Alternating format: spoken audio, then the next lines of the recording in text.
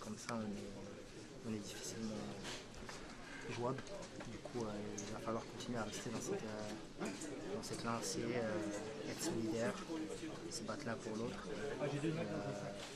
Continuer à être costaud défensivement surtout et offensivement, on a, on a toujours des opportunités de marquer et, et ça nous réussit bien.